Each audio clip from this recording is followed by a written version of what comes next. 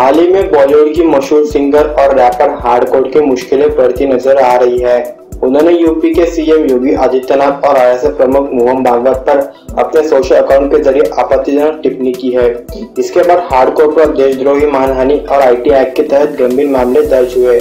उन पर वाराणसी ज़िले के कैंट थाने में मुकदमा दर्ज किया गया है।